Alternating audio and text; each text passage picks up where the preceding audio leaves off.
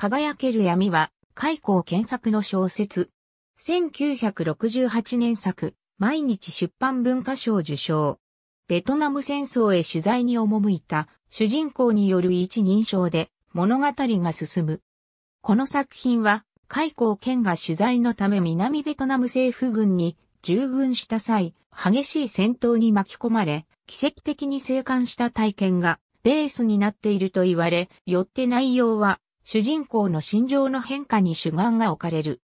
戦況や周囲の環境、主人公の心情が変わるに従って、主人公と戦争との関わり方も変化していく。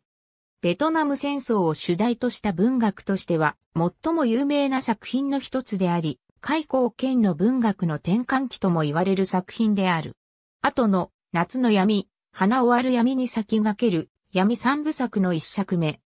主人公である私はベトナム戦争の取材のため、キム大佐やウェイン大尉率いるアメリカ軍に従軍する。アメリカ人やベトナム人、その戦場での様子に触れつつ過ごしていたが、サイゴンでのクーデターの噂を聞き、一旦はサイゴンに戻ることになる。クーデターの情報を集め、日本からの記者仲間と交流し、上夫である蘇我と再会してしばらくはサイゴンで安寧な日々を送るが、再び主人公の心情に変化が。有能な通訳が兵士として戦場に送られ、またとあるアメリカ人と出会ったことで、主人公は再び戦場へ赴く決意をする。やがて主人公は二度目の戦場にて大規模な銃撃戦に巻き込まれていく。ありがとうございます。